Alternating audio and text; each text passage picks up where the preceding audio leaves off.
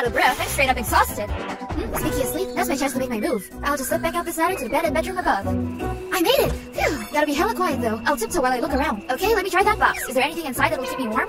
Nothing. Let's see. Oh, what about this fabric? Hmm, I think that could work. Maybe I should check out this trash bin. Is anyone watching me? No, looks like there isn't anyone out here. Ah! Oh my gosh, there's a monster in the trash